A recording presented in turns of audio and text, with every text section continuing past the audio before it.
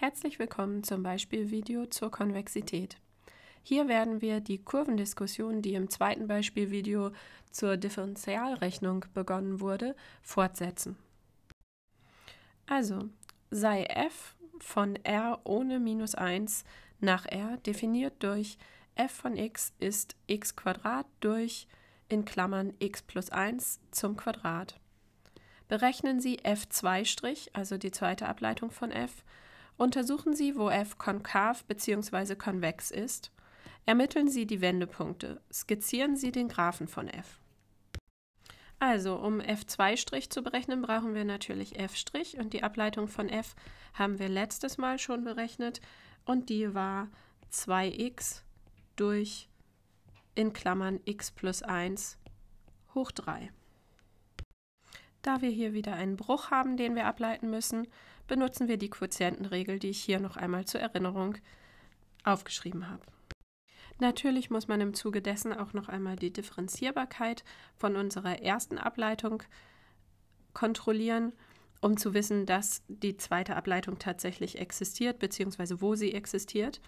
Wir sehen, wir haben hier eine ganz einfache lineare Funktion im Zähler stehen und im Nenner haben wir x plus 1 in Klammern hoch 3 Beide Funktionen sind erstmal als solche differenzierbar und wir haben auch dadurch, dass wir sowieso schon die Definitionslücke bei minus 1 ausgeklammert haben, haben wir auch immer unsere im Nenner stehende Funktion ungleich 0.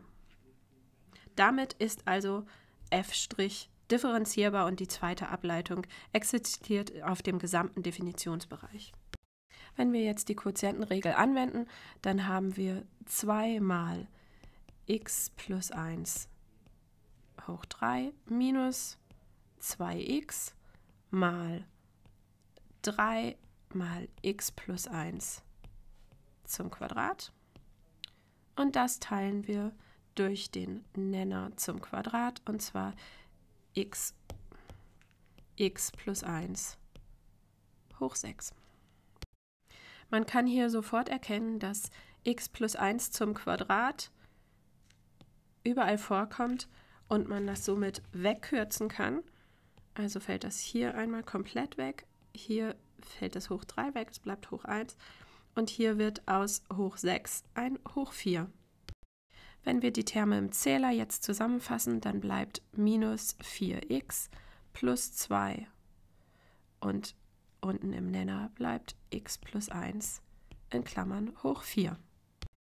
So, wir haben jetzt also unsere zweite Ableitung und nun müssen wir uns nochmal an den Zusammenhang zwischen der zweiten Ableitung und Konvexität erinnern. Also wir erinnern uns, f ist konvex auf i genau dann, wenn f2' größer gleich 0 auf i ist und f ist konkav auf i genau dann, wenn f2' kleiner gleich 0 ist auf i. In den Fällen, wo wir echt größer oder echt kleiner vorliegen haben, folgt strenge Konvexität bzw. strenge Konkavität auf den Intervall.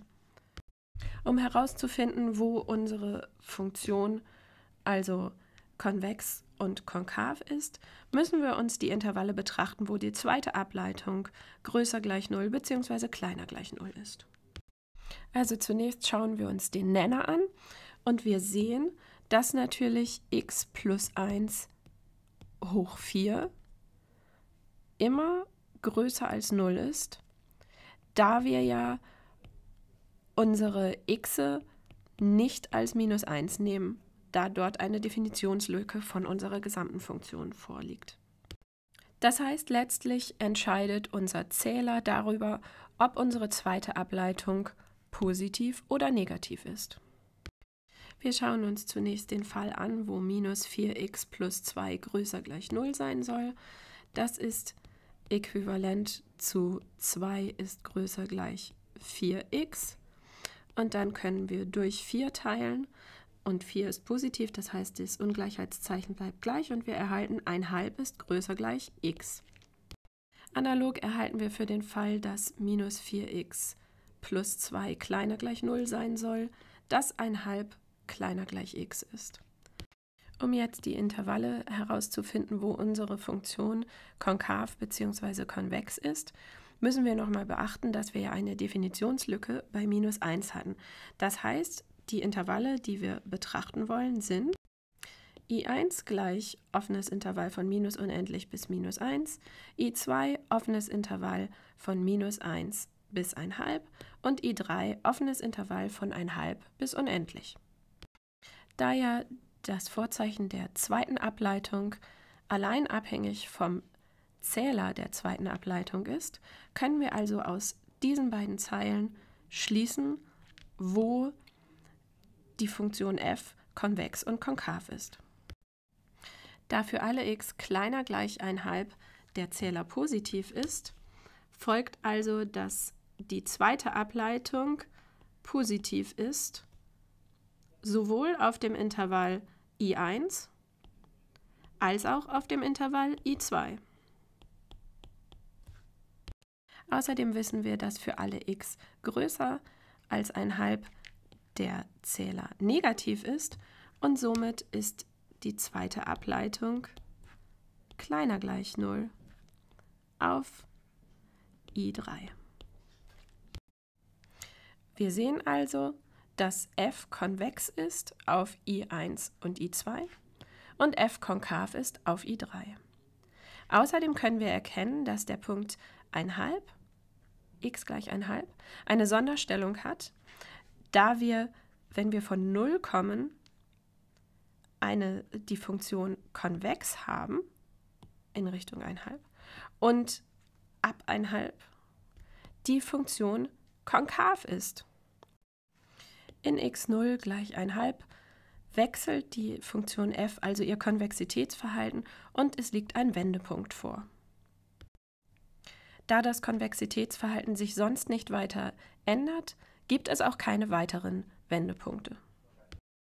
Was das Zeichnen des Graphens angeht, machen wir es uns einfach und erinnern uns einfach an die Zeichnung, die wir letztes Mal schon gemacht haben. Wir hatten dort ja das Grenzverhalten bestimmt, die Monotonieintervalle und haben ein lokales Minimum gefunden. Daraufhin ist unsere Zeichnung wie folgt ausgefallen. Man sieht, dass wir schon die Konvexität auf dem Intervall I1 hier drin haben. Und wir haben hier auch Konvexität und hier haben wir Konkavität. Das Einzige, was fehlt, ist der genaue Ort des Wendepunktes. Wir sehen auf der alten Zeichnung, dass der Wendepunkt hier irgendwo sein müsste, aber tatsächlich ist er ja bei 1,5. Und zwar ist 1,5 hier ungefähr. Wir passen nun also unsere Zeichnung an. Der Unterschied ist tatsächlich nur minimal, aber man sieht, dass jetzt doch eher hier der Wendepunkt liegt und nicht weiter links von 1,5. Ich hoffe, das Video konnte euch weiterhelfen. Schaut euch auf jeden Fall auch die anderen Videos der Reihe an.